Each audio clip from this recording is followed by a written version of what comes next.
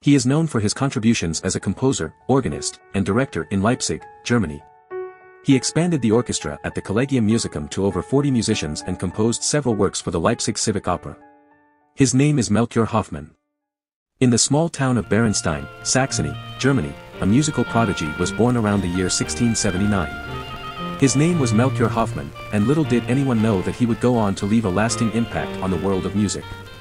As a young boy, Hoffmann's talent was recognized, and he became a choir boy in Dresden under the guidance of Johann Christoph Schmidt. But music was not the only path that called to Hoffmann.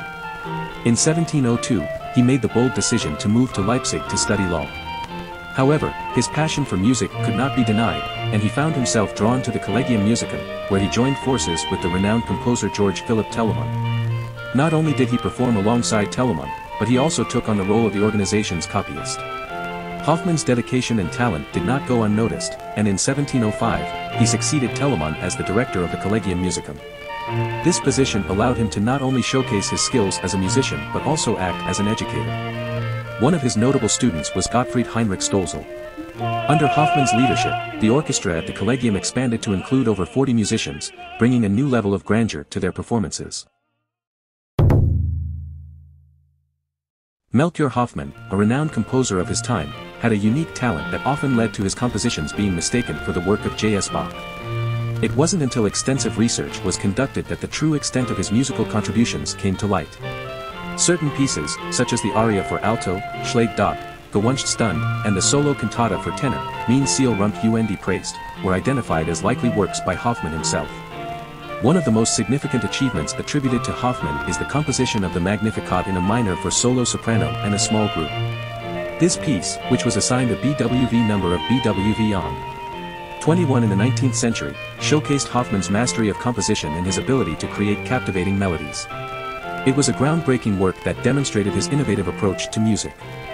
Despite his success as a composer, Hoffmann's name was sometimes confused with that of another composer named Johann Georg Hoffmann.